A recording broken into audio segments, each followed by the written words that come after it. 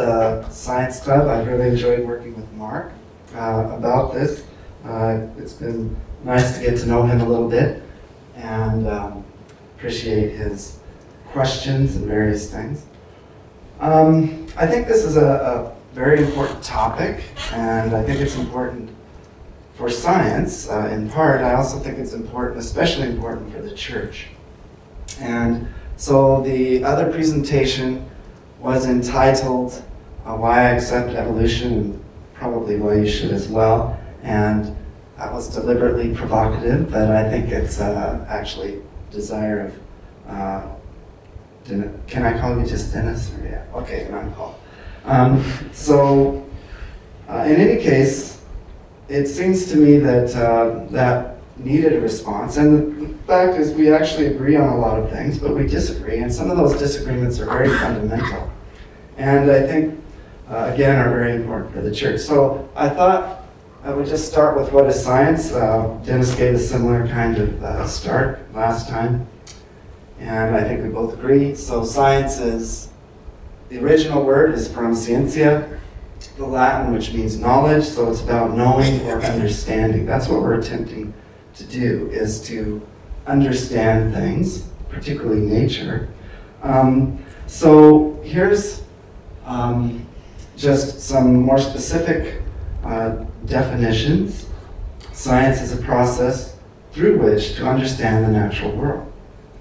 And the goal of science is to increase our understanding of the natural world. So what we want to do is to try and get the best picture we can, the best conceptions of the natural world that we can. So, um, with that, I kind of have my own definition, we could say. Science is an attempt to understand nature by actually studying it. Uh, so, it's an attempt to understand nature or the creation, in a sense, on its own terms. So, we come to it on its own terms and uh, begin to query it and try to find out what it's really like. Um, so there have been some different approaches to the uh, description of science. Uh, there's a whole discipline uh, that looks at the philosophy of science, and Karl Popper is a famous name in that who came up with the demarcation of falsifiability for science. That actually doesn't work real well for a lot of things. So Dennis, for example, uh, said evolution has not been falsified, um, but that's probably not um, saying a whole lot uh, because a lot of things are very difficult to falsify. Thomas Kuhn, uh, including, uh, by the way, design. So Thomas Kuhn uh, had the idea of paradigms, and you probably all heard of that notion, paradigm shifts and that kind of thing. And I really think this gets a bit closer to what we're dealing with. I think we're dealing with a couple different paradigms. One is the evolutionary paradigm, the other is a design, and we'll discuss that in a little bit more detail as we go along. But I actually like this guy the best. I think he um, kind of builds a bit on the idea of paradigms, and it's the notion of research programs. So, research program, in a sense, is uh, the paradigm that has a theoretical core, and then out of that core, you can make auxiliary hypotheses. And I really like this notion, and um, the core is often something that is quite difficult to prove or disprove. There's evidence for it, of course, but in terms of falsifying uh, the core, that can be very difficult. But what is more easy to falsify are the auxiliary hypotheses. Um, so particular hypotheses that come out of the reasoning of the core then often can be tested and compared to other hypotheses um, coming out of a different core. So this idea, again, uh, suggests that there are certain assumptions and evidence that function in the core of a theory or, or a research program. Again, um, various hypotheses can be generated out of that core and compared uh, to each other. Now, I'm not going to, I just want us to have this in the background. This uh, would be a nice thing to actually explore in more detail with specific things, and I hope maybe we can get to uh, one or two examples. But um, it still is good, I think, to have in the background. So if we do that and we look at the question then, and I'm just kind of organizing this around several questions or statements. So what is science? What is evolution? As we go through. Well, it turns out that we can define evolution in some different ways. One way is to define it as the processes of change in organisms and populations over time. I accept this, uh, this definition, and I think actually even the most ardent um, young earth creationists would accept uh, this definition to some degree at least as well. Um, another way we might think of evolution is simply as a description of differences in the composition of organisms that have occurred historically throughout Earth history. So, um, in other words, there used to be trilobites, now there aren't. There used to be dinosaurs, now there aren't. So the composition of organisms across the history of life has changed. Now, if we couple these two things together, it suggests perhaps the third definition, but the third definition then actually goes beyond this. Um, and so this third definition claims uh, a comprehensive natural or naturalistic theory that's molecules to man. That's a, I mean, we start with nothing, we end up with everything in the history of life.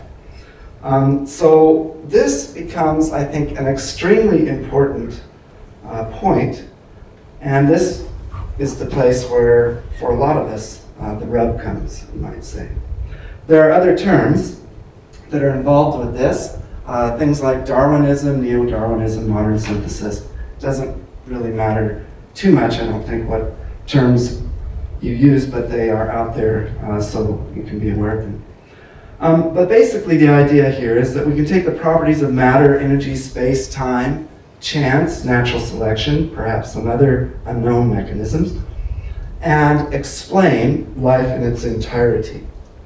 And because of that, of course, this includes the idea of a universal common ancestor and a single tree of life. As one of my professors said when I was an undergraduate, spontaneous generation happened once. Uh, and that's the idea that life began once, and so from every uh, from that point, then everything else derived. Of course, uh, that's a little more debatable on several levels right now, but uh, nonetheless, it generally includes that idea. Okay, so the notion here is that we can explain everything in terms of physical causal mechanisms. All we need to apply uh, or appeal to are the laws of nature. Um, and so that becomes a real question uh, for me. Um, is that actually true? Um, and just to demonstrate that this is what the theory is, uh, this is not hard to document in, in the least. Um, so, but this is a quote from a guy who's a professor of history. Uh, a few years ago, 2009, was the 200th anniversary of Darwin's birth and the 150th anniversary of origin of species. And I heard a radio interview where Frank James was speaking, and the question came up, did Darwin believe in God, uh, and things like that. And the uh, Frank James said, well, it doesn't really matter. It's kind of irrelevant because he, that is Darwin, argues quite clearly for material causality for the entire idea of evolution. Uh, here's just another example. Biologists agree that life started simple and became more complex through a natural process, key being natural. And at the most general level, we call that evolution. And in some cases, perhaps a little extra motivation is thrown in uh, and explained. Uh, and this is a very famous quote uh, from Roger Lewontin, uh, an revolutionary biologist. It is not that the methods and institutions of science somehow compel us to accept a material explanation of the phenomenal world, but on the contrary, that we are forced by our a priori adherence to material causes to create an apparatus of investigation and a set of concepts that produce material explanations, no matter how counterintuitive, no matter how mystifying to the uninitiated. Moreover, that materialism is absolute, for we cannot allow a divine foot in the door. Now, the interesting thing about this quote is that most evolutionary creationists would agree with the entire thing, I believe, at least that's been my experience, except perhaps that last line.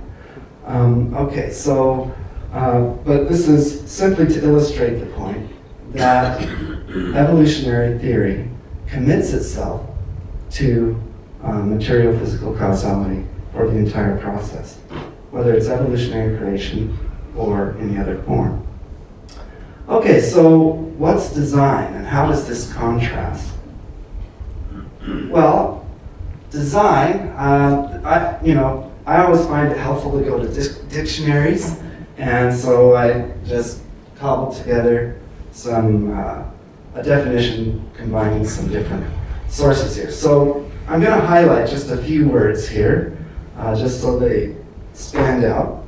To think, uh, invent, to form a plan for, the order or arrangement of the components and details of something in accordance with the plan, the art of creating, a specification of an object manifested by an agent intended to accomplish goals in a particular environment using a set of primitive components, satisfying a set of requirements subject to constraints. And then there are some synonyms purpose, project, strategy, idea, and so on. So, when we think about design, um, it involves actually the arrangement of various things, specification, it involves an agent. And so if we want to define design, in one sense, we want to think about intelligent design, as Bill Dembski has explained it, intelligent design is the science that studies signs of intelligence. As a scientific research program, it investigates the effects of intelligence, not intelligence as such. So what do intelligent agents do? And are those things manifest? in the natural world. So this is a, um, a part of a definition that I've come up with, and it's in a book called The Science and Religion Primer. Um, Arnold also has entries in there. Um, an accurate view of nature is best achieved by including a concept of agent causality or intelligent agency. So, if we want to go back to that idea of the core, Intelligent design, at the core, is the study of patterns that reveal design and the study of those types of patterns in nature. So we're looking at the kinds of patterns that would be consistent with intelligent agent action in the natural system. Are they there? And this is a real question, uh, and I think uh, um, an interesting question as well. Okay, so we have basically a couple of different types of uh, explanations for life. One is the idea of physical causality. That involves chemical and physical behaviors, laws, properties of matter, energy, space, time, natural selection, and so on. So this is the traditional evolutionary explanation. It's a naturalistic explanation. And with evolutionary theory, it's the exclusive explanation. What we in the intelligent design community suggest is that there's actually another causal plane of explanation. And again, we just call that intelligent agent causality. So some other things, concepts we might associate with this are things like information, know-how, concept, will, the ability to affect change in one's environment, specific or specified configurations. Okay, so it's important to note that though these are design explanations, there's nothing about them that precludes the above. So physical causality is certainly part of the design explanation. Uh, but what we do is we add a second layer of explanation and ask if there's evidence that suggests that is actually happening in the natural world. So, here's a little illustration, and I used this, I drew it on the board last time, uh, so now I've made a little figure out of it, so uh, hopefully this will help. Let's imagine there's a plane of explanation. So we'll call this the physical causal plane of explanation. There were data points then on that physical causal plane, so we can think about these as data points. And the conception of science and evolution is basically that we have these data points and we keep adding data points and they pretty much fall in a line of explanation so that over time we keep adding more data points and we're filling in that line. And as we fill in that line, we're filling in our explanation of the natural world. So what happens if we find something that doesn't fit on the line or doesn't fit in the plane? Uh, well, that's pretty much chalked up to a gap in our knowledge. So the assertion is everything has to be explained in terms of this physical causal plane of explanation. And when we don't understand something, it's simply a gap in our knowledge. So we are um, constantly being accused of God of the gaps, um, which you heard if you were here last time. So that's this idea that there's this gap. It's our ignorance. We just don't know the answer yet. But we'll find one because everything can be explained in terms of physical causality. And that's the assumption. What intelligent design suggests is that there's another plane of explanation. So we can call that the intelligent agent concept plane. And it creates something more like a three-dimensional space of explanation. So if we have a data point that actually doesn't fit on the line or in the plane, maybe it's out somewhere in this other plane of explanation, and maybe it's more like this. Maybe science and our understanding of nature, uh, particularly life, is a little more like something like this, where the dots, the data points, create an image more in three-dimensional space. Sometimes those dots may disappear because there are things that we thought we knew that actually turn out to be wrong. Um, so those dots get removed, and we can all think of examples of that in medicine and various things. Um, and then other times dots are added, and the image may be interpreted differently by different people. Uh, but hopefully, as time goes on, the image will become clear and we'll see more clearly. So what intelligent design is doing is creating another plane of explanation and looking for evidence to support that plane um, as one of its objectives. Okay, so what that does, ultimately though, is it creates this great divide um, between two systems of thought. So on the one side is this idea of physical causality, material natural causality, and on the other side is, again, nothing wrong with physical causality, but there's also this other plane of explanation that we can call intelligent agent causality. Okay, so there's some assumptions. On the one side is the assumption that physical causality is sufficient. It's, it can account for all phenomena in life. It's the only allowable explanation. A failure of explanation or data that does not fit is simply considered a gap in knowledge. On our side, there's some assumptions as well. One thing, we assume that intelligent agency is real. It's something that actually exists. Um, now, as Christians, I would think we wouldn't have any problem with that. Um, God, I think, is the only I am, the only self existent one, and God is whatever conceptions of agency we may have, our agency is derived from His.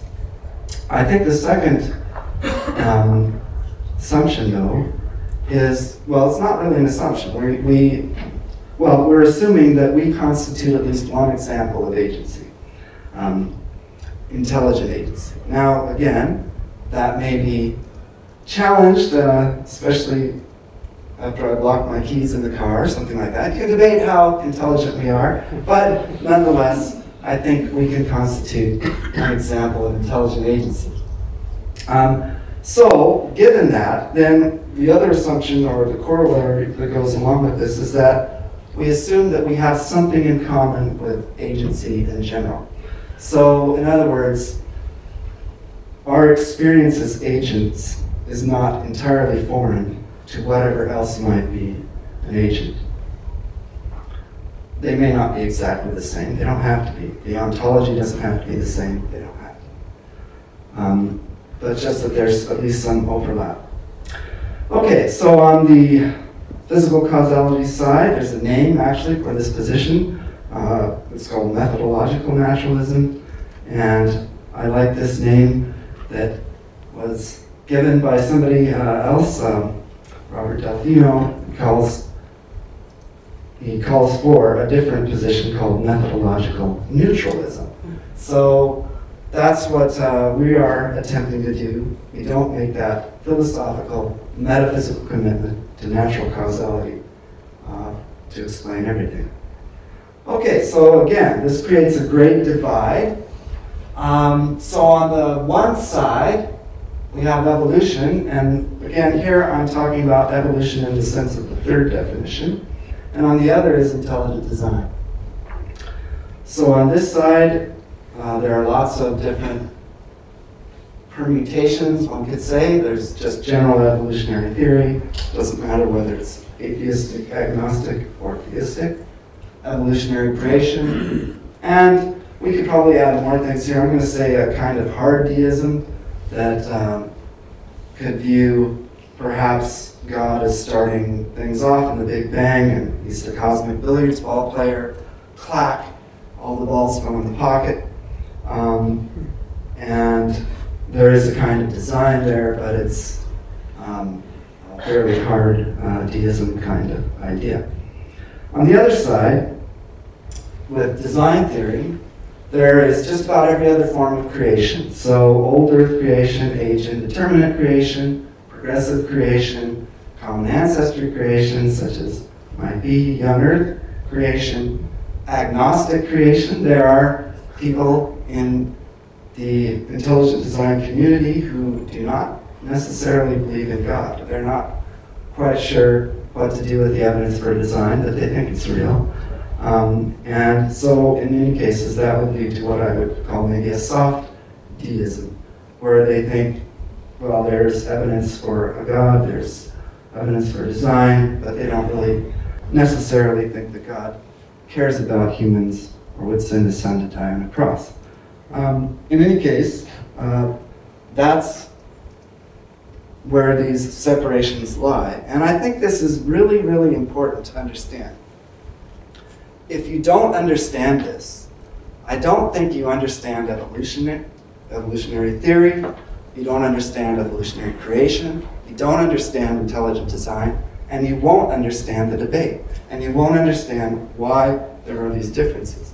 And this separation, this, this divide, um, affects an awful lot of stuff downstream. It's, it's just almost impossible uh, to get around this. And what I find is that when I have discussions with evolutionary creationists or just colleagues um, that I've had who are just, you know, accept evolution, and they're not Christians or anything, um, I find that you have to back up because there are so many assumptions that are in play, and they tend to come back to this divide here.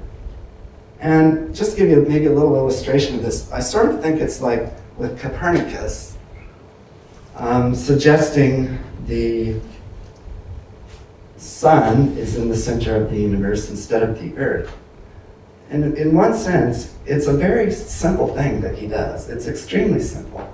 All he does is he takes the existing Ptolemaic model and swaps the position of the sun and the earth. That's it. No big deal. But it actually is a big deal. It changes everything. It changes your entire conception of what's going on. how we perceive of the cosmos. Okay, so I think this is a very important point uh, just to understand if we're going to carry on with this discussion. And um, so uh, that's, I'm, I'm doing some sort of uh, groundwork here, if you will. Okay, next question. What are some characteristics of design? And is design recognizable? Now, this is a question I like to ask. I've asked this of various uh, evolutionary creationists, and uh, for example, Denis Lamoureux, who, after asking him three times, uh, actually said no. Um, and one of the things I find in this debate is this desire to continually appeal, to appeal to design, and yet deny it at the same time, uh, which, um, well, maybe we can even discuss that. Okay, so let's go through some nuances. I, I think we need to explain a little bit more about design. Design isn't just one thing. There can be many layers of design layered on top of one another. Uh, for example, I like to describe design in terms of two fundamental categories, design in the physics and chemistry. So in other words, there are atomic and molecular properties. There are real laws, or at least what we describe as real laws of nature. There are things that describe, or properties, uh, the way matter actually behaves. Okay? So I call this background design. So this is a bit like a canvas. If you're going to make a painting masterpiece, you take a canvas. The canvas has its own design, there's a frame on it, um, and so on. And the canvas is necessary for the painting. But the painting is different than the canvas. The design of the painting is different than the design of the canvas. So we need a background kind of design, and that exists. Uh, but then there's also what I call foreground design. So that involves designing the configurations of matter, design in life. Okay. So what that means is, one of the consequences of this is there can be design upon design, and you could even have more. So you could have things, for example, like uh, this computer is designed, there's hardware, there's all kinds of components that are designed. There's software layered on top of that. Uh, there's all kinds of levels of design, and actually organisms are this way as well. then, to complicate matters, you can have non-design layered upon top of design. So maybe when you were in college, you had some old 1979 Toyota that was a rust bucket or something like that, and you drove it around and it had to open the hood and connect wires together or something like that. Well, what's happening there is you've had a, an original design, and that design then degrades, and so there's non-design layered on top of design. I think another possible important distinction is originating design or unprecedented design versus um, repeated design. And I think this is quite important in living things uh, for example, as a Christian, if we want to bring God into this story, um, God need not create every cucumber plant the same way that He creates, say, the first cucumber plant or first plant uh, that He might create. So there's uh, things reproduce after their kind, as the Bible says, so we don't need to appeal to the design in the same way um, for every event as we would maybe for an origination event. Design can be overt, very upfront, not hidden at all. So you look at the design of your shirt or the seats that you're sitting in or this building, um, there's nothing hidden about it.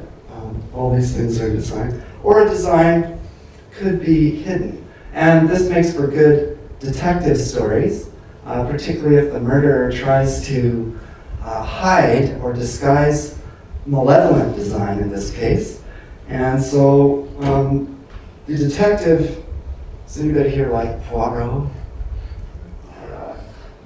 Uh, no, no, mon ami. I think something is afoot. Uh, there's some hidden design here. Uh, so it's possible to disguise design, but even there, I think it's often very hard to disguise it. And the sharp detective comes along and actually unravels the design and figures it out, even though it's been tried uh, to be disguised. And then there's the idea of simple designs and complex designs. Of course, some designs are very simple, and uh, perhaps natural laws of the universe, of what we call those things, can mimic some of those simple designs. But even there, I find it interesting, and I'll show some examples here. Uh, we often recognize design very readily, um, even very simple designs. But there are lesser and greater designs. So let's talk about that then, because what I think becomes a very important question is what kinds of designs does the background, or what kinds of design does the background actually produce? Um, is there an overlap? Are there things that natural laws do produce that could look like foreground design? And this is where I think we get some possibilities for debates and arguments and so on, um, because there is some overlap here, and I'm going to give you a couple examples. Um, my youngest daughter and I, a few years back, uh, took a little father-daughter trip, and we camped out near the Oregon beach, and I just thought this was a phenomenal. It was just so beautiful. I just had to take a picture of this uh, sand. Uh, so these are ripple patterns in the sand at the beach. Obviously, natural processes produce this kind of thing. Natural processes produce things like this hurricanes, tornadoes. And I think perhaps one of the most magnificent things are snowflakes. Um, so natural laws certainly can create, if you will, uh, certain kinds of things that are quite magnificent um, and quite um, spectacular in, in the appearance of design. So one of the questions then would be, is life like a snowflake? There's been a lot of um, work done, for example, on what is sometimes called self-ordering. There's also some interesting discussions on whether we need different terms for self-ordering and self-organizing. Um, and I think that's a really good discussion. But uh, part of this, again, is, is, is life like that? What do you think? Anybody want to venture a guess?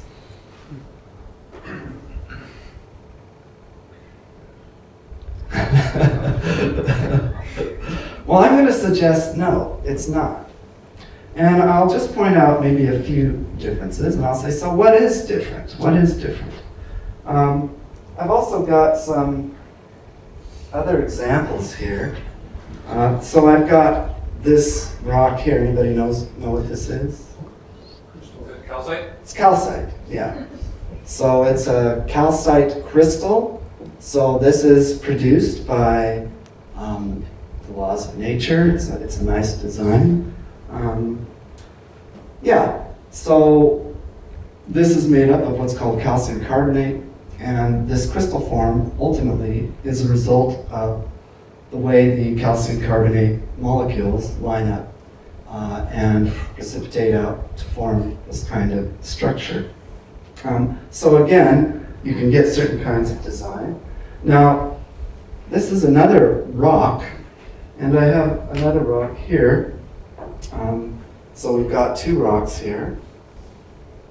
And uh, they're both rocks. They're just rocks, okay? But is this one just a rock? Can you see it by any chance?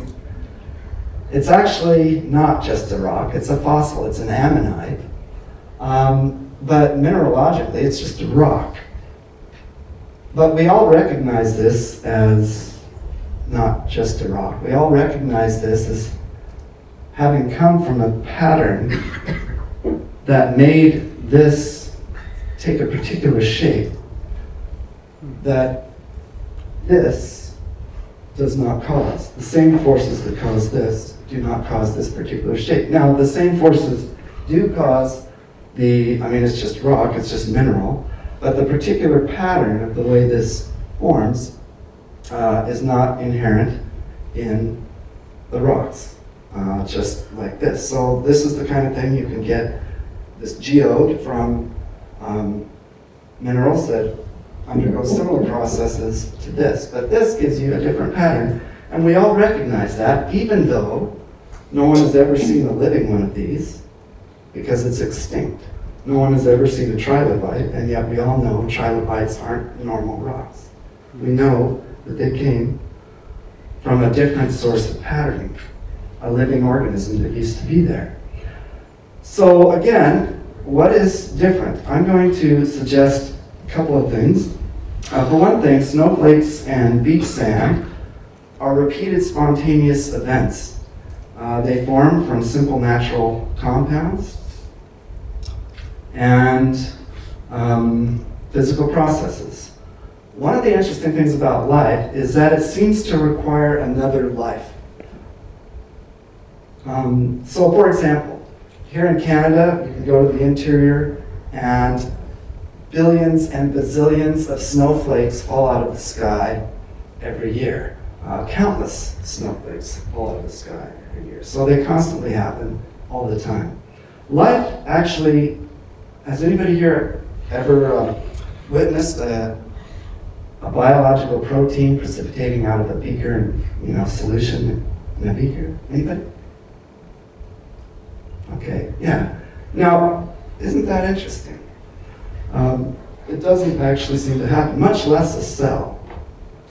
So one of the differences is we can see that these are repeatable events that happen all the time, and life seems to require another life to happen. It's also interesting that in terms of chemical equilibrium, life is actually not favored. Um, so the chemical equilibrium favors the simple products out of which we are made, does not favor the complicated products that we are. And that's why we decay when we die. So uh, the chemical equilibrium does not favor the production of life, it actually favors the uh, dissolution of life. Another, I think, interesting thing is that snowflakes and beach sand involve no breaking and forming of covalent bonds. Uh, so life, life is one continuous exercise of remaking molecular bonds. So that's what we're doing all the time. So if you think about a plant, takes in simple components, CO2 from the atmosphere, water from the ground, some nitrates or whatever from the roots, and it builds a plant.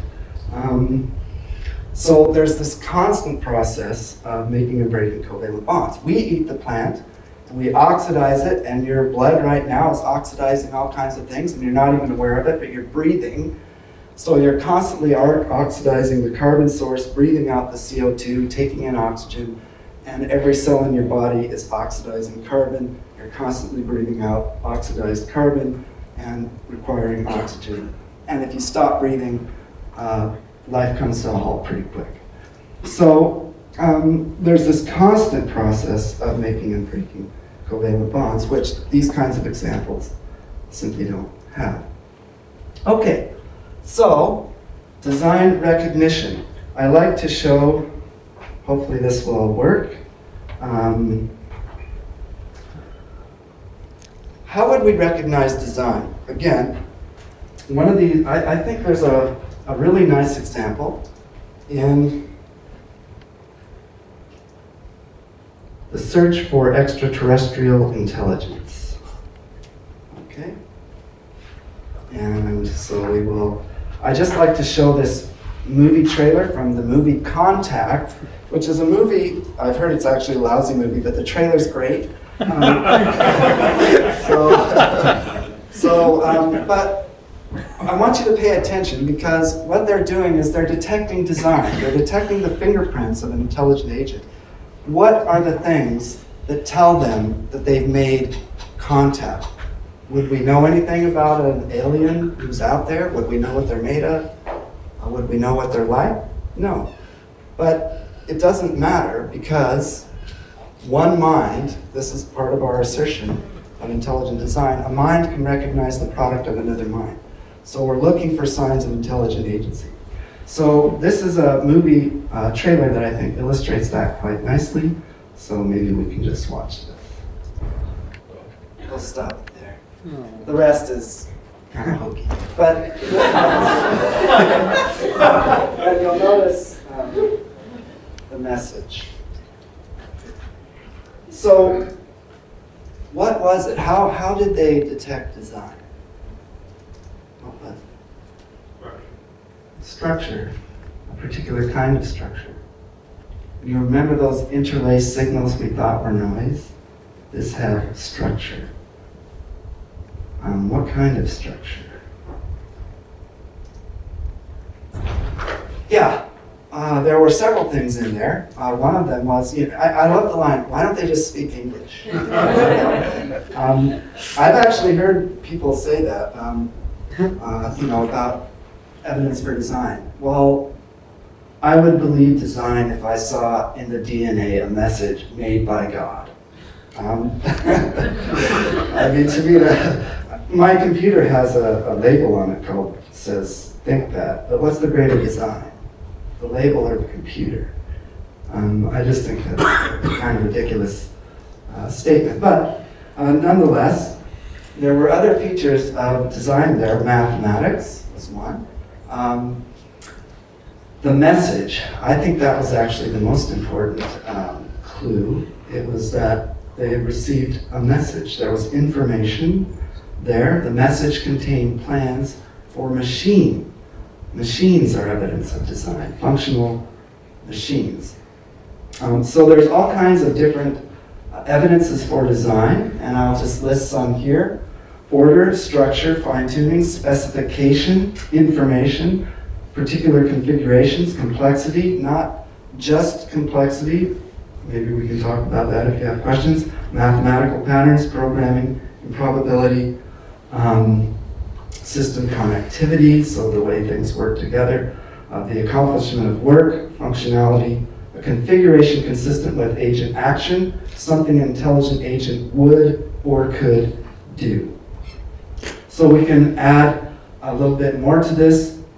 The presence of added properties, such as configurations, arrangements, meanings, functions, that seem to go beyond the normal physical properties of the material object or system. That is, the added properties are not reasonably explained by the material properties or context of the environment, but these additional properties are consistent with actions of specification by an agent. So I think we actually do recognize design, we do it all the time. It's not that complicated. This is a splinter, and I've got these splinters here, so you can come examine them uh, afterward if you like, but they're pretty small. But this is a, a splinter. Uh, these are toothpicks. Now, isn't that interesting? If you were walking in the woods out here in the back 40 and you saw a tree that had fallen over and there were splinters on the ground, but you actually saw this, or this, or this, would you think it would be a splinter? What do you think? I mean, you can't get much simpler design than a toothpick. And yet we all recognize that this is design. It's not complicated. Here's another, um, well, okay. Follow another right Is this it? There it is, thank you. So, something that looked designed on the ground. Yeah, yeah, exactly. So, no, actually, I found this. Uh, this is just a rock. I mean, I. No. so here's a blow up of this. Uh, does anybody know what this is? Okay, I, I don't know what it is, but I know where I got it. Uh, but is this designed? How many of you would argue that it's not designed? It's, it's not complicated. We know this is designed, even though this is a very simple object and we have no idea what it is. You don't have to know what it is. We recognize design. Okay, So what might design in life look like? If there was intelligence or design involved in bringing life about, what would we expect? Well, we might expect things like information. Hmm. Well, lo and behold, we find tons of it.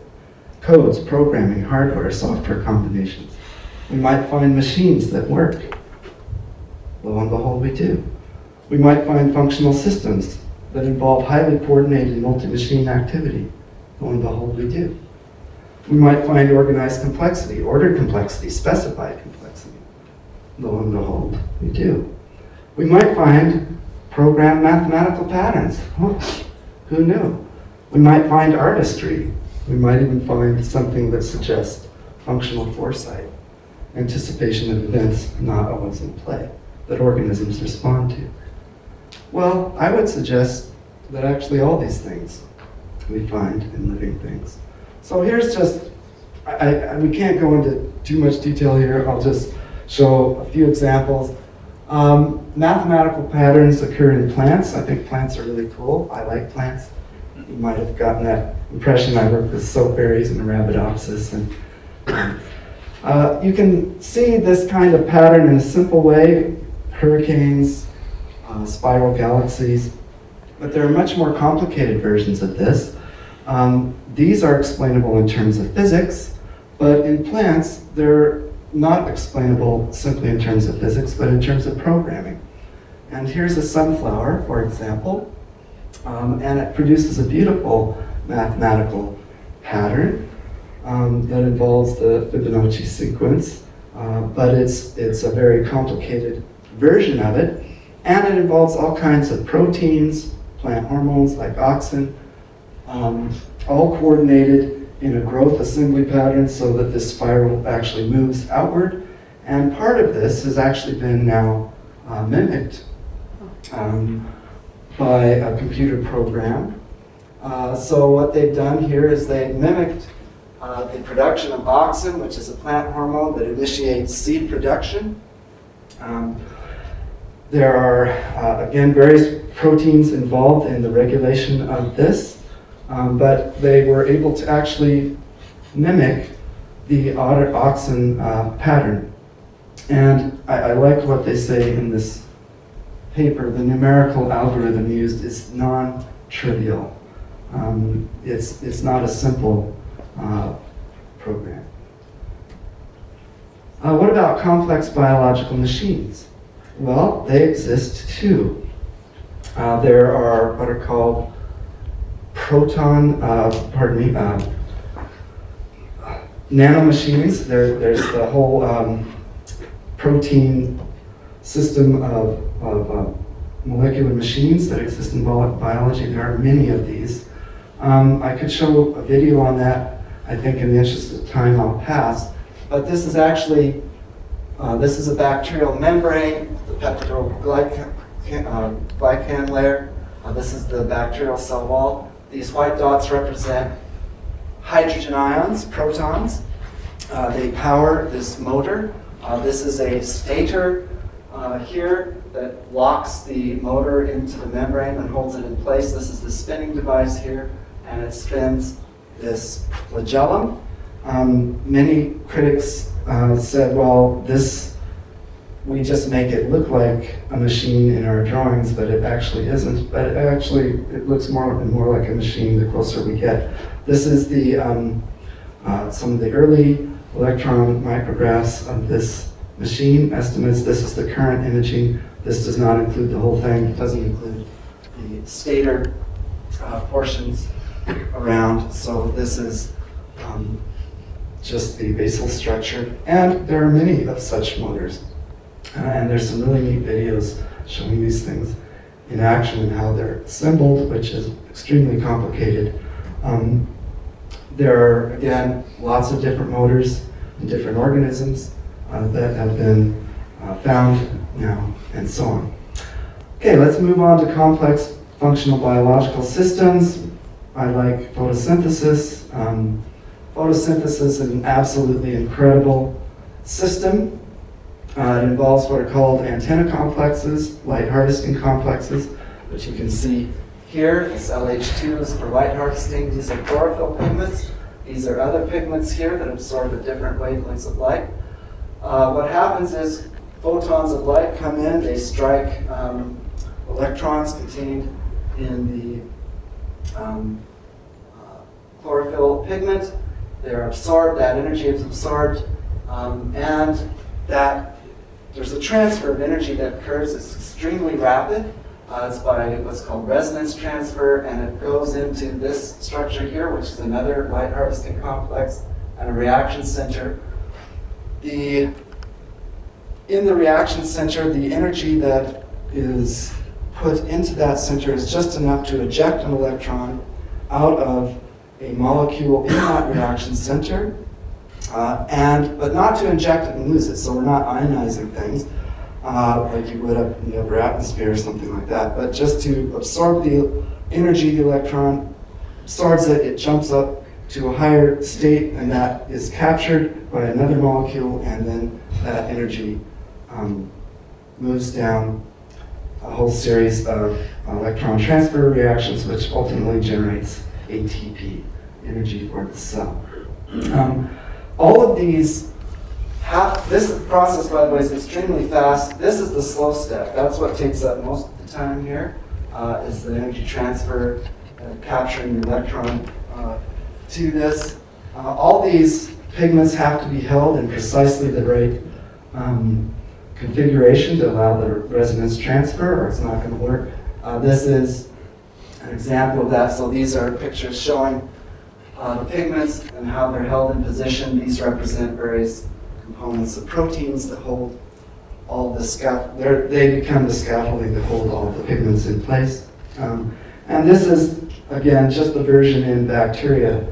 This is, this is the, um, the basic version. This isn't the Mercedes. This is, you know, the, the Nissan Micra or whatever you want to call it. Okay, so, uh, all right, so um, this is a photosynthetic unit in purple sulfur bacteria, and when people study this, um, there are certain reactions that happen. This is a quote out of the textbook we use, plant physiology. The structure of the reaction center appears to be extremely fine-tuned for maximal rates of productive reactions and minimal rates of energy wasting reactions. Fine tuning exists in biology. The reaction center is beautifully designed. I'm not sure that the author of this is specifically arguing for design, but I think it's tacit recognition. There's no other way to describe it. It's beautifully designed. Another example is, again, is biological information. Um, this again is out of a biochem textbook, describes two ancient scripts. So uh, the prism of Sennacherib, and this one is, it's an E. coli bacterium with its DNA extruded. Um, both contain information. We all know this. We've heard about the genetic code. Um, what does that mean? Um, life is absolutely saturated with informational configurations. And I'm not going to take the time to read this, but it's just, um, there's, this paper actually is about a guy who used to work in espionage, cracking Russian codes. He's trying to apply computer programming methods to analyze DNA structures to crack the code. Um, here, just an example. All these words are in the biological literature and there are even more. Um, so there's the idea of an operating system, and even these are um, inadequate to describe what we're finding. I love this quote. um, yeah, it's tough to make predictions. Um, one of the things that um, evolutionary theory brags about a lot is its ability to make predictions. What they don't say, of course, is all the failed predictions. And they don't say the successful predictions of intelligent design. But now that we've had a bit of a track record for some years, intelligent design is quite young, where we can actually line up uh, different predictions together, compare them head to head, if they're different, um, intelligent design is not having a bad track record, I would say, next to uh, evolution. Now, um, often we may make the same prediction, so that's not going to help us. If we make the same prediction, that doesn't help distinguish theories. But if we make competing predictions, and one ends up being better than the other, um, then that says something. So I'm going to try to kill a couple of birds with one stone here. I don't know if I'll be too successful, but we'll try it. Um, again, we had this idea of the core and the auxiliary, and so we said what functions at the core of ID, what functions at the core of evolution, and um, there can be auxiliary hypotheses produced out of that core. So if I if we all agree on the first definition of evolution, that there are changes that can happen in organisms over time, then where do we differ? Where, what would I as an ID person say differently about changes in organisms over time than a traditional evolutionary biologist? Um, so would I say something different? Well, yes, yes, I would. Um, and I do think there are changes, but we might begin to uh, explore some ideas. These would be auxiliary hypotheses. These are not the core, but they can feed back into the core and help us with either confirming or disconfirming evidence. Um, so one of the things I started thinking about in grad school a long time ago is that life is an information-based system. It's a chemistry-based system, but it's an information-based system as well. And with intelligent design, we suggest that, that those informational characteristics are a fingerprint of design. Um, which might be an important distinction to make. We're not looking for God's hands, we're looking for the remnant fingerprints of design left in his handiwork. Uh, there's an older term for that, vestige.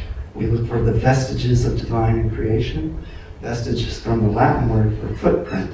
So we're looking for those things consistent with um, design in the natural world, intelligent agent action. Well, one of the things I think we can say is that if there's going to be an evolutionary change in the definition number one sense, there has to be an information change. If you don't have an information change, there's no evolutionary change. Okay, and I think we can pretty much all agree on that. So information does not change, evolution does not happen. So I wrote a proposal back in 2002 uh, explaining this uh, to the Templeton Foundation. That's how I ended up, I guess, the same place that Arnold and where we met, and um, actually Dennis is in the current version of that. Um, and I've suggested that there are three ways that uh, evolution may proceed. You can generate novel information, shuffle it around, or lose it. Now, the conventional story puts the main emphasis on generation. It has to, it must, and it does. So Dennis has made the claim, along with colleagues on Biologos, that evolution is this tremendous information generator. And it has to. We start with nothing and end up with everything in the history of life. There must be massive amounts of information being generated. Um, so it requires this. And it does so with no intelligent actions on nature. Okay? So that's not allowed. Um, God does not intervene, God does not tinker, um, and so on. Uh, what struck me is if you think about information, it's much easier to lose information than to generate it. So could the order be different? Um, so this is a different hypothesis, and what I suggest is the order is actually reversed. Loss of information is the primary route of evolution. Shuffling also occurs, is very important. But generation can happen, but not very much, and those processes are outweighed by losses. So in other words, information costs through losses far exceed information gains if we have any multi-step uh, process where we are relying simply on the laws of nature, natural selection, and so on. Now, Uh, this gets to this idea of confirming evidence versus disconfirming evidence. One of the interesting things I found with our discussion a couple weeks ago with Dennis is I asked him, what would you, what would count as evidence for design? Would anything count? And of course, if the only possible explanation is the physical causal explanation, then nothing, at least beyond that, could count. And again, it was interesting. Dennis couldn't really give me an answer. He gave me an answer, but it was a very interesting answer. He said, I would accept evidence for evolution if I saw an expanding gap. Now, that struck me as really odd. And I said, okay, that's great, but you haven't given me any evidence for design. And that's because I'm thinking totally different. But what that illustrates is that he's depending upon this only possible explanation of physical causality. So the only possible kind of evidence that could count for design is actually an expand, expanding gap, which I find a bit ironic because that's exactly what we are accused of doing, is relying on gaps. And yet the only evidence that uh, Dennis said he would accept is an expanding gap. So what I would suggest is actually a gap is not evidence for design, it's disconfirming evidence of the naturalistic paradigm.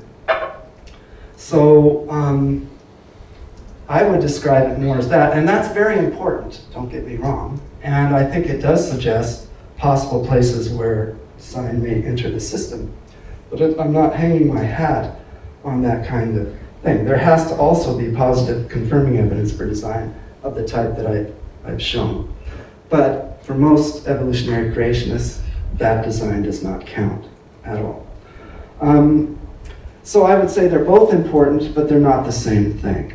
Now, this has some interesting consequences, and there's more to this story, but I'm just going to give you sort of uh, my take on this story.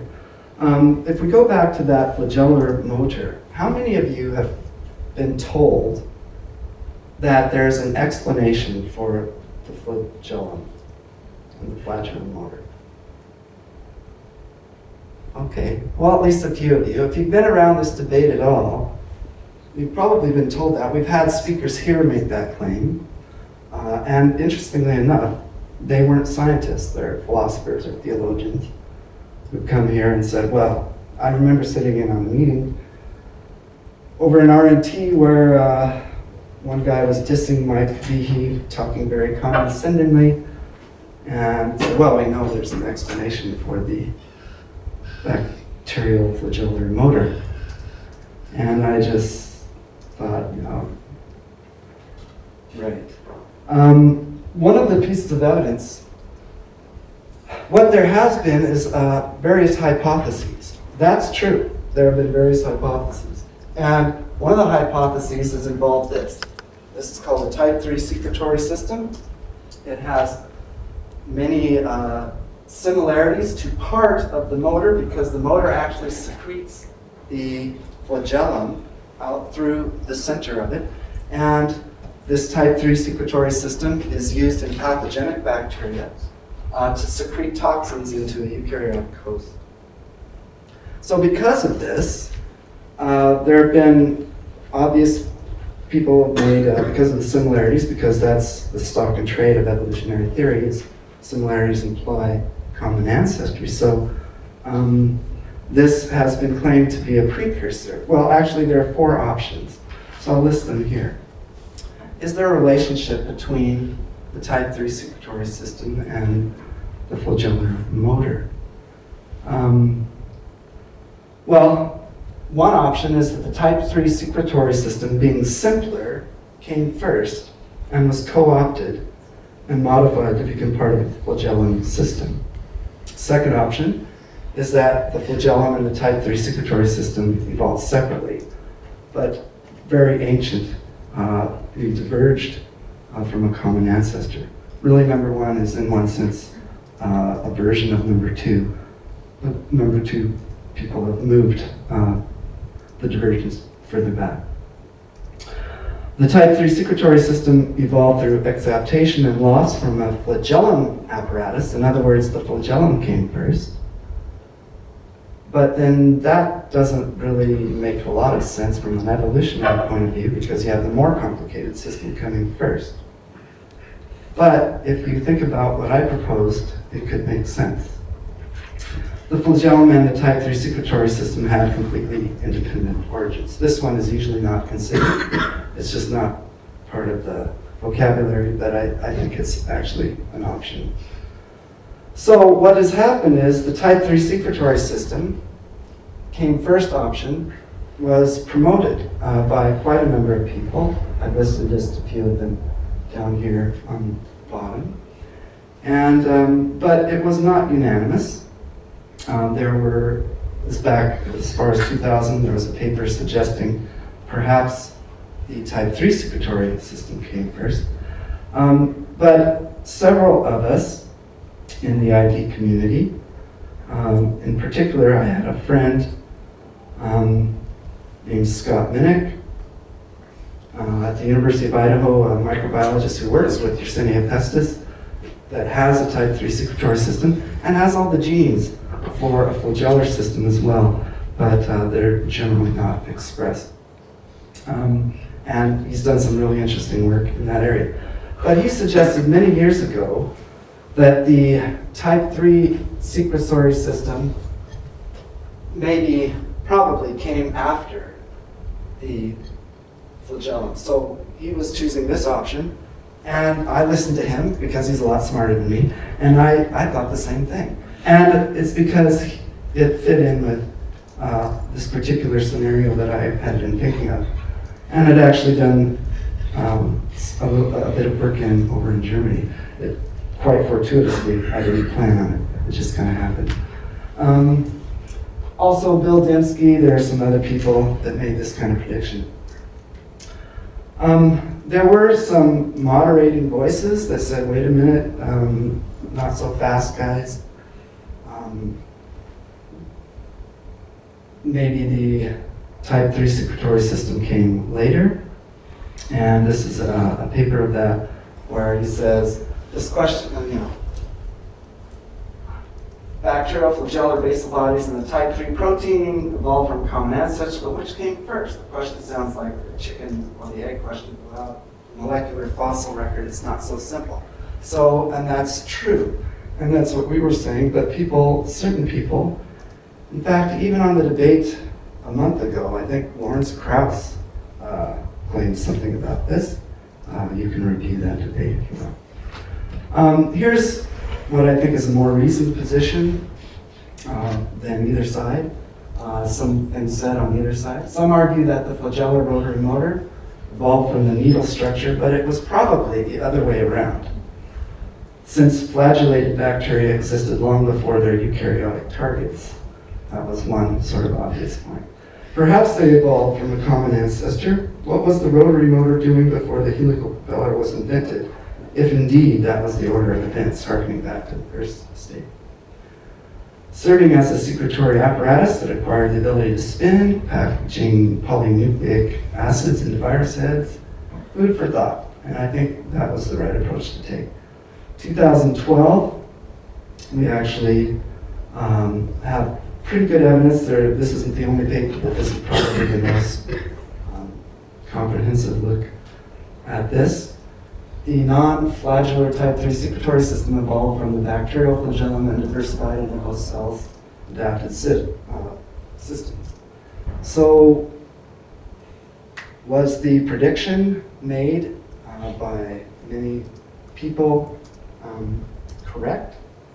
Was it a real explanation?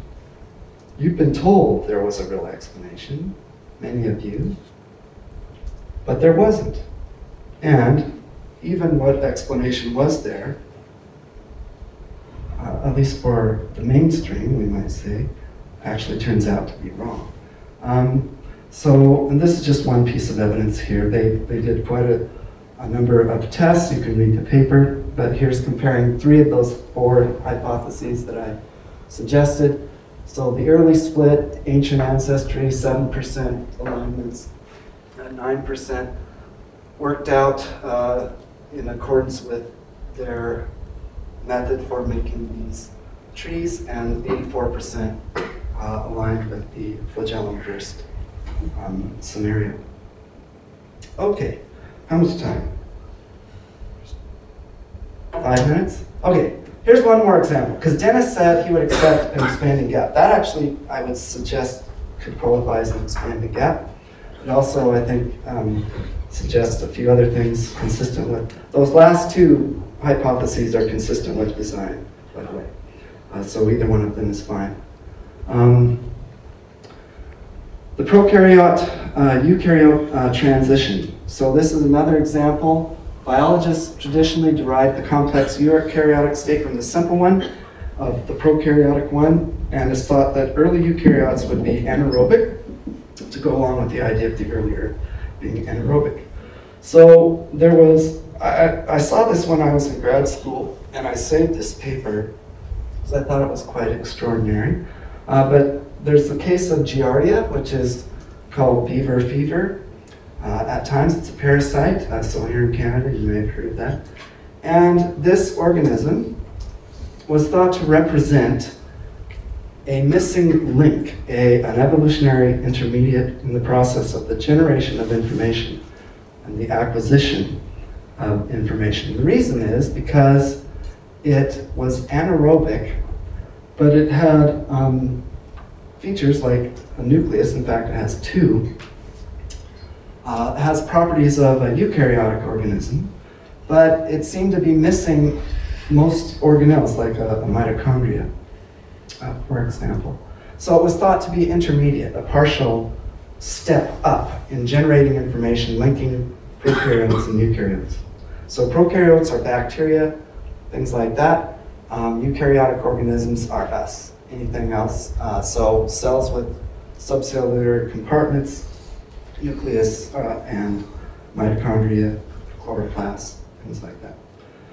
Well, if we fast forward, it turns out that actually it's an example of evolution on the way down. Uh, it's an example of reductive or loss of information evolution. So it appeared intermediate because of a loss of information, not because it was generating information on the way up. Uh, so again, consistent with this hypothesis uh, that I have um, put forth. In fact, there's a lot of evidence, we don't have time to go through this.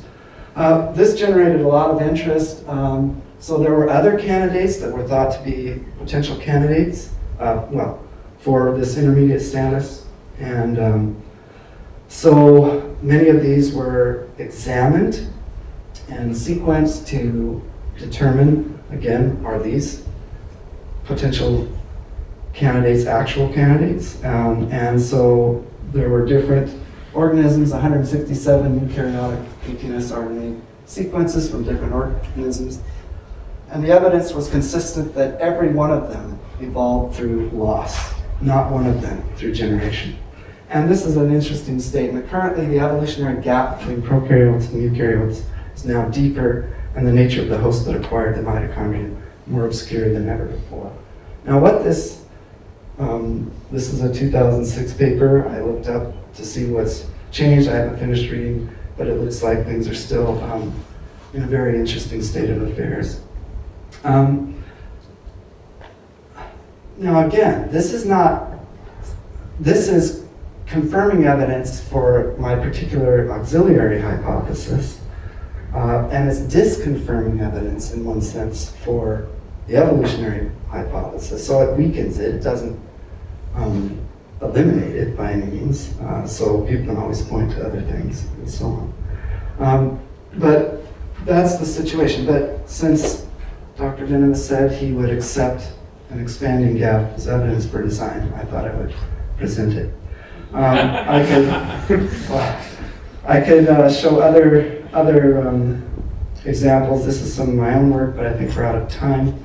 So if, that is at Arabidopsis, by the way, just in case you're interested. But I do think we probably should stop at this point. Let Dennis Okay. have the floor. Well, thank you.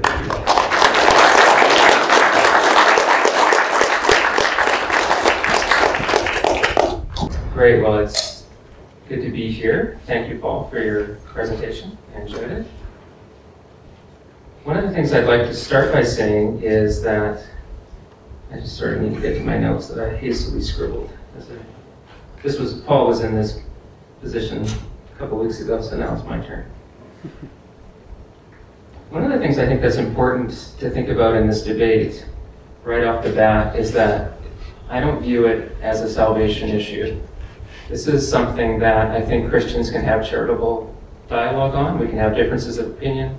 There's that verse talking, you know, iron sharp, sharpens iron, and it's okay to have different opinions on these issues, and it's good. I think, in some senses, one of the things I value about the ID community is that it forces evolution, you know, those who accept evolutionary biology to be clearer about what they are saying, and perhaps ID can point us at different places where there are things that aren't as well worked out. So I see some value there. And uh, it's something that I think as Christians that we can um, agree to disagree on or agree to have a dialogue on, even though we recognize each other as brothers and sisters in Christ, even though there might be differences of opinion. Maybe another thing I would say is that as Christians, uh, we're both Paul and I are open to God working through both what we would consider natural processes and also what we would consider supernatural processes. There's no Christian that I'm aware of in the present day that thinks that everything in nature is uniformly supernatural. Of course, if it was uniformly supernatural, then we might eventually start thinking of it as natural because it was so repeatable. But a Christian um, has the ability to look at the world and to think, hmm, some of what I'm observing might be the result of natural processes, and some of what I might be observing might be the result of God intervening in what we would call a supernatural process. Now, Christian theology throughout history has been fine with either of those two things.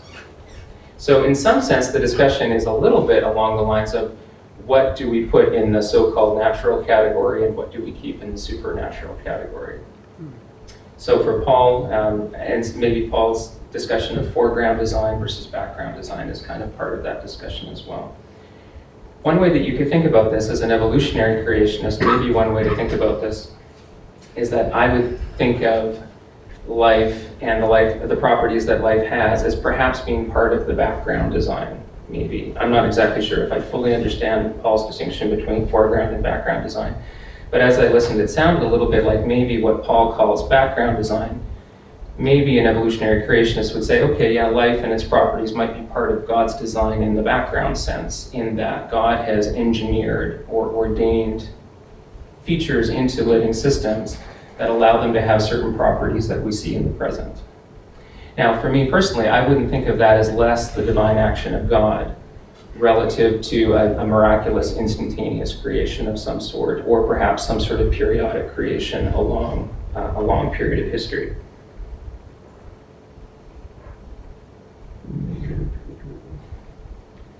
Maybe some other things to say. I guess sometimes the question that I have is that people might ask, well, why, you know, why don't you identify personally with an intelligent design perspective? Why do you accept, you know, an evolutionary creation perspective? For me personally, one of the line or one of the reasons for that is because I see a lot of evidence for evolutionary biology in the natural world.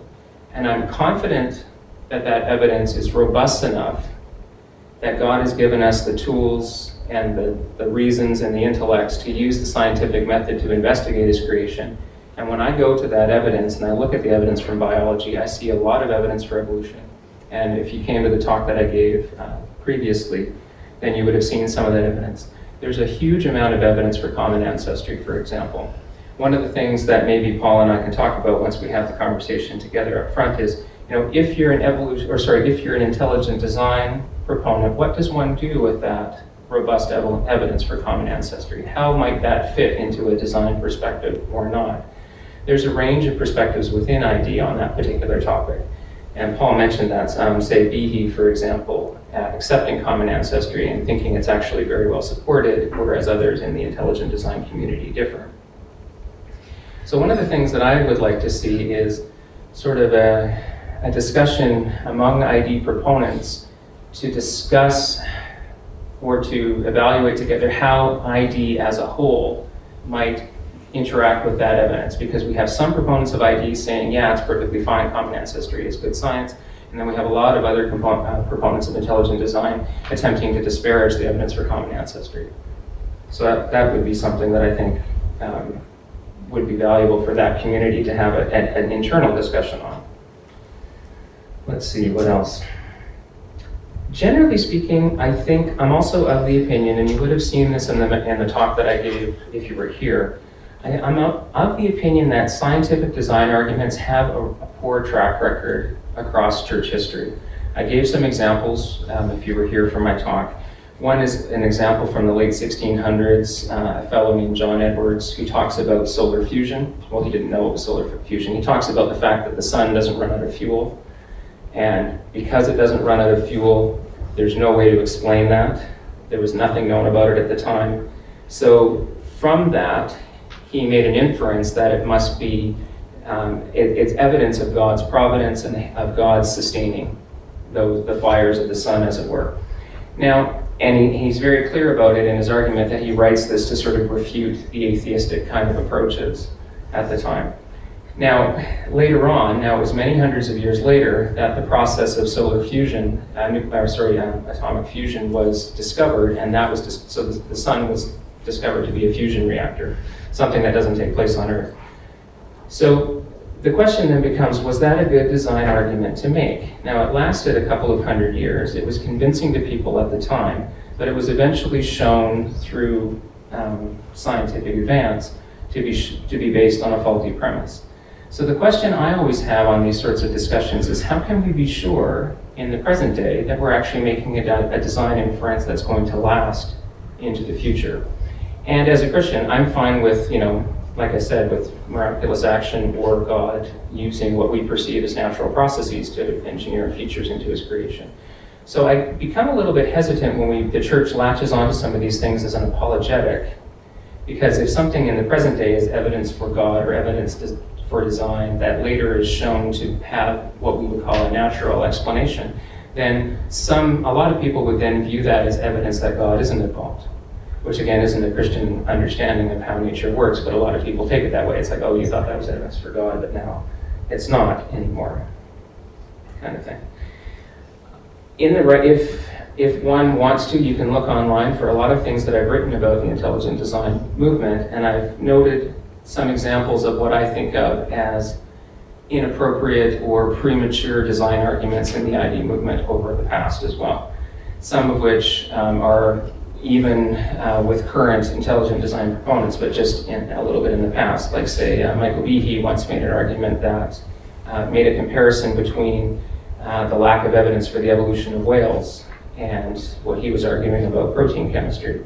Now, Behe doesn't make that argument about whale evolution anymore because he made that argument at a particularly inopportune time. He was basically saying there's no, you know, we know of a few species, but there's not the transitional type of forms that you would expect in the fossil record. But it was right at that time that a large number of discoveries were being made and entered the literature. And Behe doesn't use that argument anymore because now he doesn't have that point of reference to say that there's an, a gap or a lack of these forms. So that was a design argument that didn't last very long. Okay, let's see what else to say. Um, Paul, one of your theses is that evolutionary processes are predisposed to the loss of and shuffling of information, and then um, gain is uh, is um, is possible, but it's not primary.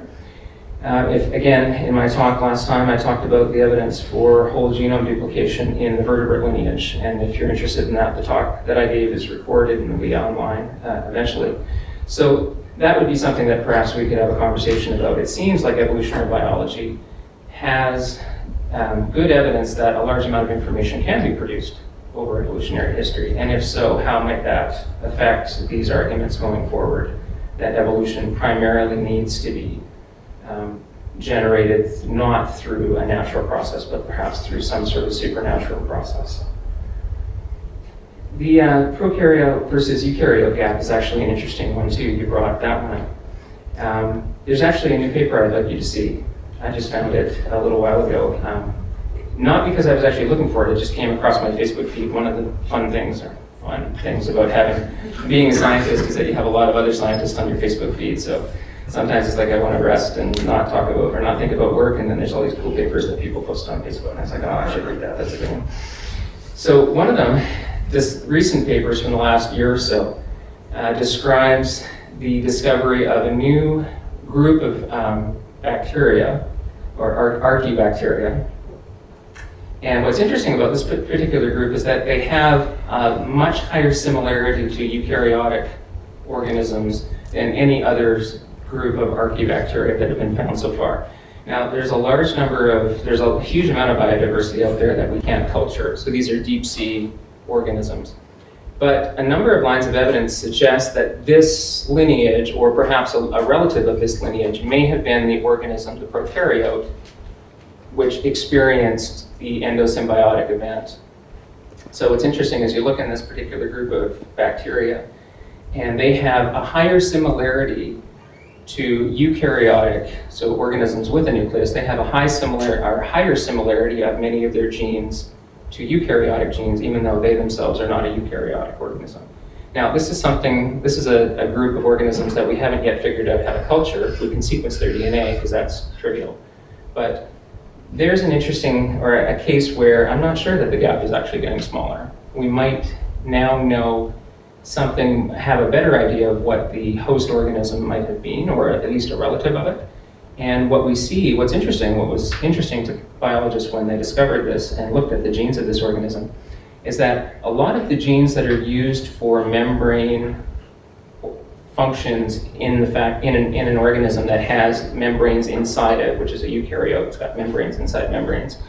A lot of the genes that eukaryotes use for that kind of biology are actually present in this group of archaebacteria, even though they don't have these inner membranes. Now, that's the kind of thing that evolution would predict that what we see in a certain group of organisms is an exapted, a sort of a modified version of what came before. So in that case, I don't think it's a closing gap or a widening gap. In that particular case, I think it's a, it's a, it may be a closing gap. And this evidence is something that I would like to sit on and watch for a while to see where it goes. So I think maybe that's all I really have to say. Let's see, any other notes? No, I think that's probably not a bad spot to stop. And then I think we'll have the both of us up here for a bit of dialogue and then questions. So thank you very much.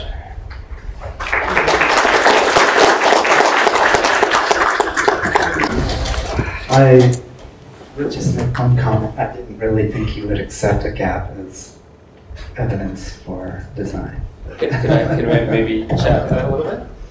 It, it would certainly, if there was a gap that, say, over a really long period of time, and a gap in the sense that we more than more, the more that we learned about something, the more and more we realized that we really didn't know much about it, and it lasted for a really, really long time, it wouldn't make me suddenly say, ah, you know, there's the miraculous action, here's the design in that sense. But it would make me curious. It would make me, because, you know, as, as a Christian, I'm open to, you know, one of the, I think you might have, you know, some evolutionary creationists will say, you know, no, just natural stuff, that's it. Um, I'm not familiar with any of them everybody I know in the evolutionary creationist community is perfectly fine with God intervening, you know, miracles. Evolutionary creationists don't deny miracles in that sense, right? We think Jesus was, was raised from the dead. We think he took water, turned water into wine, that type of thing.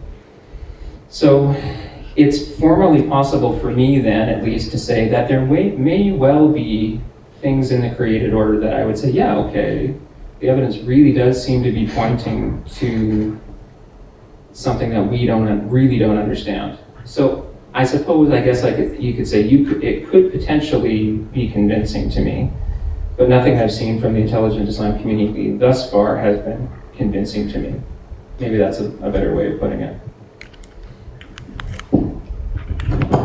Yeah, so I think along with that, then we can just repeat the question because the commitment. It seems to me, I, I mean, Denis Lamoureux in the debate uh, the other uh, a month ago said, you know, there is he believes in design, but there's no evidence for it. It's a leap of faith. Uh, what, what was his words? And in fact, we've had similar conversations in the past where you seem to indicate uh, the same thing. So I'm glad to hear you say you would accept evidence for design, but then you say there is no evidence, none that we would present that counts. Is that right? Well, I guess what I would say is that none of the evidence that's been proposed by the ID community I find convincing. So like Behe, for example, says, you know, when we see purposeful arrangement of parts, then we infer design. And if you look, if you work carefully through Behe's work, it, he comes down to a model where simultaneous mutations are necessary in order to assemble molecular machines that he calls irreducibly complex.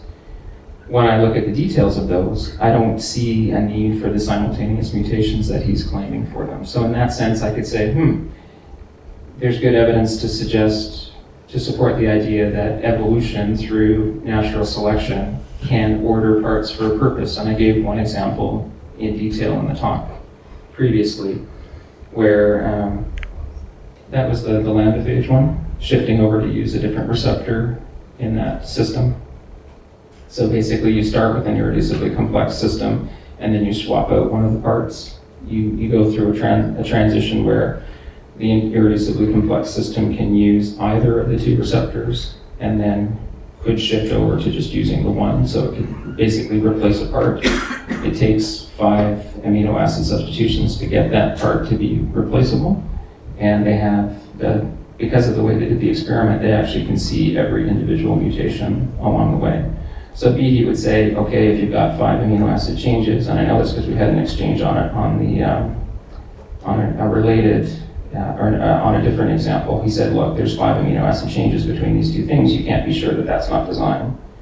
But on this particular example, those five changes have been documented as individual changes.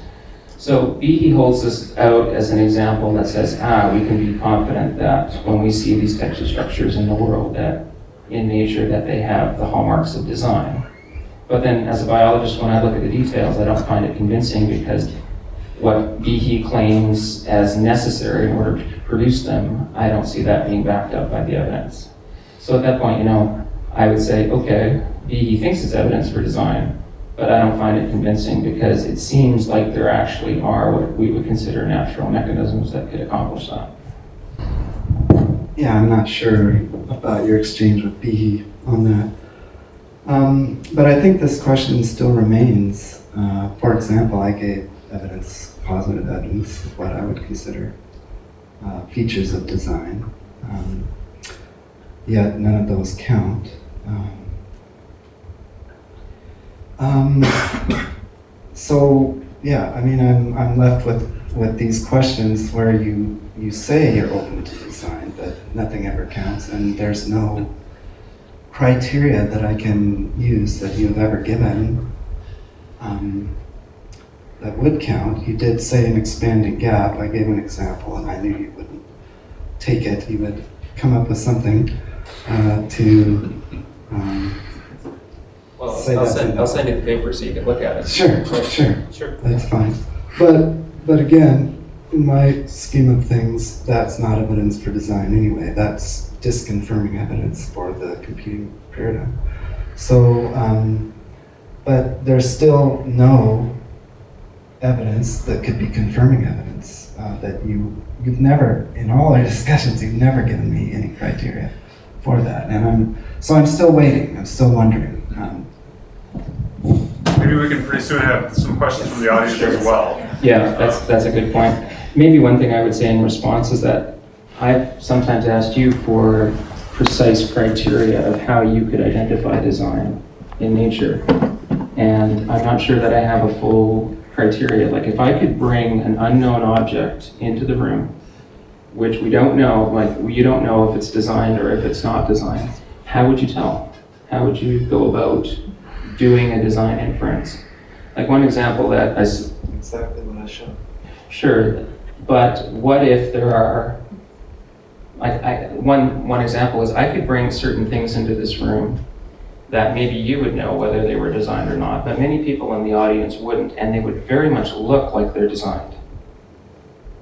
But you and I would actually know that there are material processes that produce them, even things that look like your little cylinder and whatnot. So then the question is, how can we be sure that we're looking at a miracle, as it were, a design in that sense, unless we're talking about humans making things or pros making things or something along those lines. Do you want me to answer that, or should we go with questions? That's me? I think it's you, yep. Okay. Um, so I, I, I was listening interestedly. Um, the thing I find, and, and this is a common critique with ID, is that um, there doesn't seem to be like a positive theory or hypothesis about how things. It seems to be a lot of critiquing uh, the current hypo- uh, the current hypotheses, the mainstream hypotheses of evolution, and so I was wondering if maybe you could give us a, both of you, give us a positive hypothesis of how possibly, let's say, the bacterial flagellum was uh, created or appeared or evolved or whatever term you want to use. How did it, how did it go from being not there to being there? Do you want to start? I mean, the answer for me is I don't know. I don't think anybody does at this point. Um, there are lots of hypotheses, but uh-huh. But sorry, so my point is, my, what my really, my, my big concern is science happens, the action of science happens by having a hypothesis and then testing it and then, you know, trying to determine whether your hypothesis stands up or, or whether it's falsified. So in order to do the science, you got to make up hypotheses and a positive hypothesis of how something happens. So I'm wondering, yeah, I don't expect, you know, you particularly to have developed the hypotheses, but, but you gotta, you No, gotta that, that's, um, I mean, that's exactly what I was doing up, up here. Um, one of the things about if you're going to propose a designer that's not available, um, this is one of the criticisms of intelligent design is, uh, well, it's not science because you can't put God in a lab, which is absolutely true. well, I mean, I believe God is in the lab with me uh, at all times because I believe in God's omnipresence, but I can't put God in the lab as a test subject. Um, but what we can do is we can observe what agents do, and we can observe what the laws of nature do. And when we line those up, we can begin to see that certain things are consistently produced by the laws of nature, certain things don't seem to be produced, or they're, they're the very things in question, like.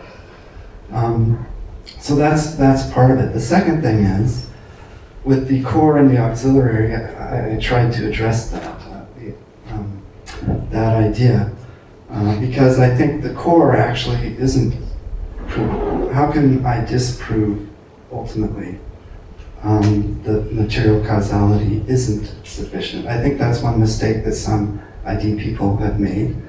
Uh, and everybody looks for a silver bullet, and if you're in this debate for very long, I think you, you need to know there isn't one. Uh, it's going to be back and forth. Um, so, so, you know, what we do is we make, we have this core, there's evidence for the core. Is there evidence for design? I would say yes. I would say any criteria you could name. And I think that's one reason why there's such a reluctance to name any criteria. We will find that expressed in biology. And um, what that means is it's essentially game over. If, if we actually identify criteria that could be used, such as the presence of information, uh, massive amounts of codes, of, of programming, of interacting levels of software, and so on, um, those are positive, I would say, signs. Now, how all that works together, that's the, that's the quest of science. I don't, I don't know all the details on that. What I can say is there are things absolutely that we find. The more we investigate biology, the more we find things absolutely consistent with intelligent agent actions. Um, so, you know, it, and, and, but we do make specific hypotheses. So there's the core and the auxiliary, and that's what I've done here. And those are testable, and they can be actually lined up. We can make predictions, we can line them up, make specific predictions and test them with evolutionary predictions, and then who turns out to be right? Well, like I said, if we're making the same prediction, that doesn't distinguish theories. But if we make different predictions and one turns out to be more correct, that's confirming evidence for this paradigm, disconfirming evidence for that one. And it, again, it's not like one thing is going to falsify the whole thing, and that's why I don't think falsification is a very good criteria in this instance. Uh, just one thing to say about the, um, like that question about whether the type 3 secretory system is first or the um, flagellum is first. The way that was worked out was actually through an evolutionary approach. If you noticed on Paul's slides, it was quest- the question of whether or not the lineages in the present day, if they're that if the type 3 secretory system is a late branch or if it's a, an earlier branch, like where it groups. And that's based on common ancestry within that group of organisms that are being understood. So it was always an open hypothesis. I mean, any anybody who said sort of naively that you know the type 3 secretory system is a direct you know ancestor to a flagellum i don't think anybody was making that specific claim and if they did it would have been it would have been misguided um, the idea is that they share a common ancestor at some point now the interesting thing for me is okay if the type 3 secretory system is later and it's derived from a flagellum then the question I would have is that derivation, is that an instant of design? Or was that through a, what we would call a natural process? So that would be my question for like an ID type of approach. Yeah, and that was the point of presenting it. And I said I accept evolutionary definition number one, evolutionary definition number two, and the whole hypothesis is about evolution, but describing evolution differently than the mainstream. So it's the inverse, and I've called it evolution to the minus one. Uh, so it's an auxiliary hypothesis out of uh, the design core, but it, it turns evolution, the, the normal view of evolution on its head, if you will. Um, so, um, and that's actually, there's a lot of evidence for that, and I didn't have time to present that, but, but, but yeah, I mean, that's the point. We're making different um, predictions, comparisons. Yeah, um, I'm not a scientist. Uh, I'm a, I guess what you call a pastor theologian. Um, but I, I love scientists. I'm married to a scientist, so I hope that helps. Um, my question is this um, I don't understand a lot of the science that you're talking about. Um, maybe you saw me doze off presentation, that's the reason. But my question is um, do you, and I, I would like to hear an answer from both of you, do you see it as necessary for science to prove the existence of God? Um, no.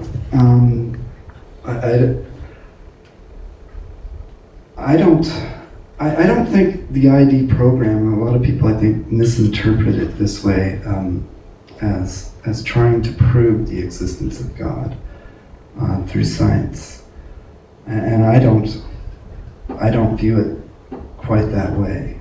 Um, what I view the world as is something that is God created, one way or another. And so I go out and look in the world, and it doesn't shock me if I find things that are consistent with that notion. And I think it's okay to do that. And in, in one sense, I would expect some of that uh, because I do believe in a personal God and I believe in a Jesus Christ that creates the world. He is the one through whom, for whom, by whom all things are created. He is the one that speaks to the wind and the waves, and they obey him. He is the one that treads on the water, uh, which I think, in my opinion, that symbolism is significant connecting back to Genesis. He's the one that turns water into wine. So for me, I it's it's a natural world to see design in it, um, and I think that evidence is real. I don't think we're making it up, and I think the Bible appeals to it. I think the Apostle Paul appeals to it uh, in his sermon on Mars Hill. I think he appeals to it in Romans, um, and so I think there is it, it would surprise me if there was no evidence for design and creation, uh, or, you know, something along those lines. But it's not because I'm. If, if you think about the older views of scientists, they initially went out and looked for order in the world because of an orderly God. So, and they found it, and that's not, they weren't trying to prove God, they expected that God existed and that these things would be there, and they found it. And that's more the way I guess I feel about it. Um, the design is there, I don't see any reason for denying it. Um, so,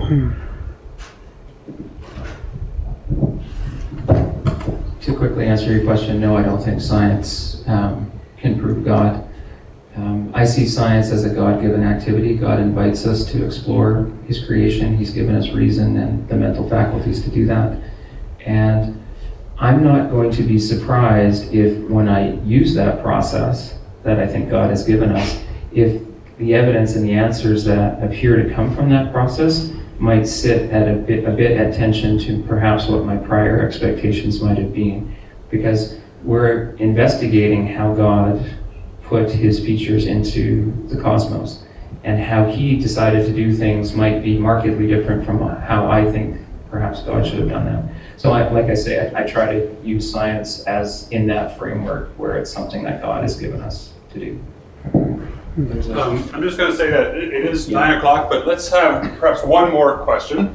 And then I think afterwards, probably you two would be willing to stick around and ta- talk uh, with whoever would like as well. But um, at nine o'clock, or shortly after, after this last question, we should probably uh, call this uh, part of the evening over. Uh, I don't know if you guys can judge whose question The was sort of the the next or most pressing. first, so I guess it's his.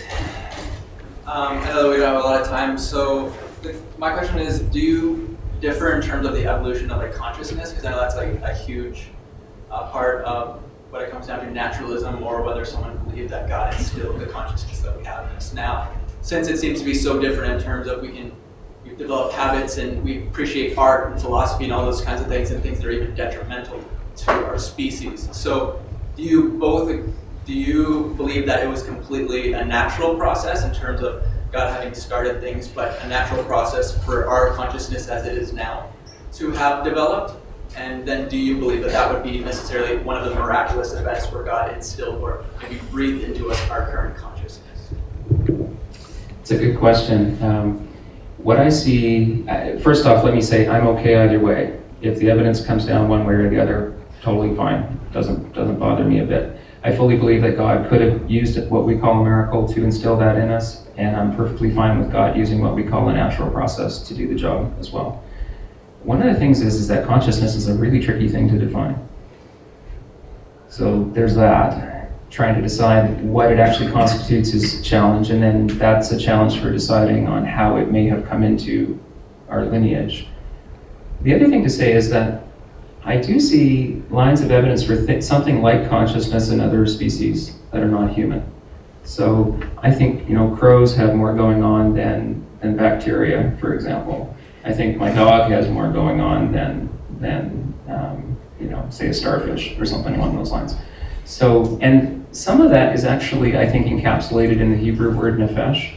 In uh, the Hebrew um, certain the, the Hebrews had this idea that certain organisms had an inner sort of dimension to their their being, and that verse that gets translated in the King James about God, um, like God breathing into Adam and he became a living soul in the King James, that word is nefesh, and that's used to describe other animals in in the Hebrew scriptures as well. So I think you know. So that to me thinks that yeah maybe maybe this could have been a natural what we would call a natural process, but I'm not sure it'll be interesting to see where the evidence goes.